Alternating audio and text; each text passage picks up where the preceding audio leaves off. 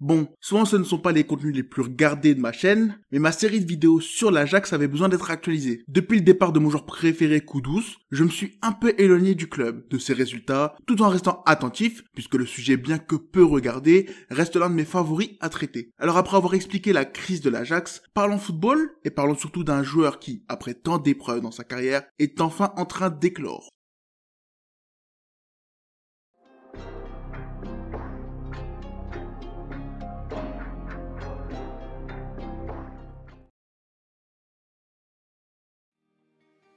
Après un mercato d'incompétents et un début de saison où l'équipe ne ressemble à rien, la direction du club a décidé de changer à nouveau les choses, en mettant en place un nouveau tandem en tant que coach et directeur sportif. Un changement qui ne signifiait en rien la fin des problèmes, puisque ces derniers sont structurels. Mais cela devait permettre au club de rester à flot, sortir de la zone de relégation et tenter de sécuriser l'Europe, peu importe la compétition, pour sauver au minimum les apparences. En deux saisons, le roi de Redivisie est devenu le bouffon du pays. Les concurrents, eux, n'ont évidemment pas suivi la chute d'un club qui s'est autodétruit et cette situation catastrophique ne laissait pas beaucoup de marge de manœuvre. Après avoir compris que les solutions externes étaient impossibles à convaincre, le board a confié cette mission à un néerlandais connu en Grèce, John Van Chip. Je sais pas si ça se prononce comme ça. J'ai vraiment un problème de prononciation, maintenant que je le dis. Dans une situation critique, le club décide de confier son avenir à un ancien joueur qui connaît un drame personnel, un mari en deuil qui doit sauver son club de cœur, le club de sa vie et de sa défunte femme. Et c'est comme ça que la remontée commencera. L'Ajax passera de dernier du championnat à la cinquième place, de nombreux changements auront lieu dans l'effectif, Certains problèmes bloquent toujours la progression de l'équipe, mais c'est suffisant pour passer en Conference League et pour jouer les places pour l'Europe. En tout cas, pour l'instant.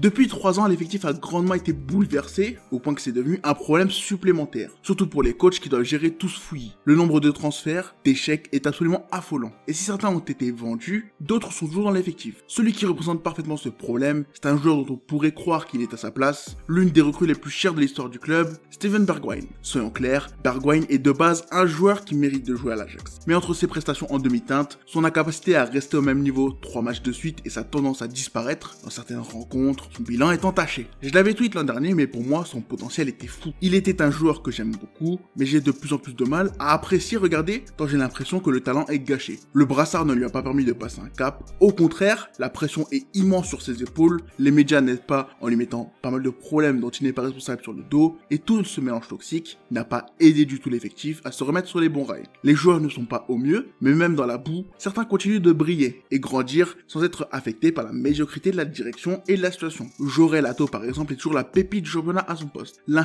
le meilleur joueur de cette première partie de saison avec l'Ajax, et il reste un gars dont on parlera beaucoup dans un futur proche. Un talent absolument incroyable et sûrement l'un des plus grands sortis de la formation depuis quelques années. Mais Ato n'est pas le seul. Il y en a d'autres qui est en train de connaître une saison d'éclosion, un jeune buteur qui a détruit son image avant de la reconstruire pièce par pièce, la bête Brian Brobé.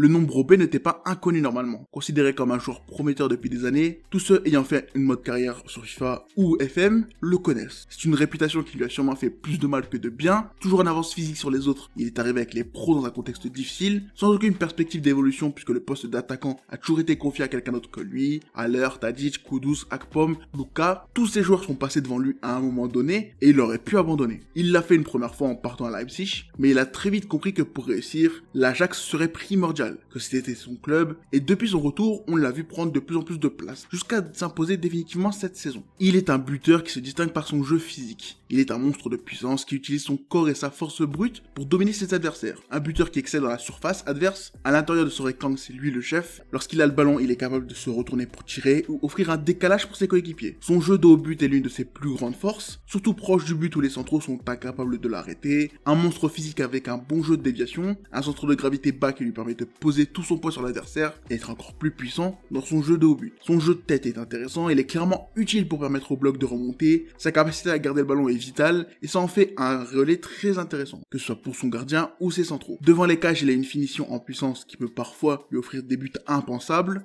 Droitier peut le marquer du gauche, mais ce n'est pas aussi puissant de ce pied-là. Un monstre en attaque, souvent comparé à Drogba ou Lukaku, alors oui, les comparaisons, hein, mais qui est encore loin du niveau de ces deux joueurs. Brobé est un joueur clivant, puisque ses performances sont cycliques. Tout va bien, tu as un joueur qui se montrera décisif à chaque match comme maintenant, mais lorsque quelque chose le dérange, sa finition, son application technique et sa débauche d'énergie ne sont plus les mêmes. Très limité dans les dépenses énergétiques lorsque son équipe n'a pas le ballon, il peut parfois louper l'immanquable, être coupable d'erreurs de dosage dans la puissance de ses frappes, et c'est un problème important qui explique pourquoi jusqu'à cette saison, il était un joueur frustrant. Un joueur qui n'était pas parmi les meilleurs à son poste dans la ligue, mais qui marquait beaucoup. Cette saison, tu sens qu'il a eu le déclic, tu sens qu'il prend enfin ses responsabilités, et lui qui pouvait par moments paraître prétentieux, un but de lui-même, est aujourd'hui plus en accord avec le joueur qu'il est. Libéré des blessures liées à son physique qui lui ont souvent coûté cher, Brobé est en train de s'imposer tranquillement, connaissant enfin la continuité et la confiance qui lui était nécessaire pour être le buteur phare qu'il devait devenir. Pour l'instant, il est dans un cycle positif. Quand j'écris la vidéo, son équipe va jouer contre le PSV et j'espère que vous avez vu ce match qui s'annonce intéressant. Mais quand bien même j'apprécie l'Ajax, pour moi ce n'est pas du tout l'axe le plus intéressant de cette vidéo.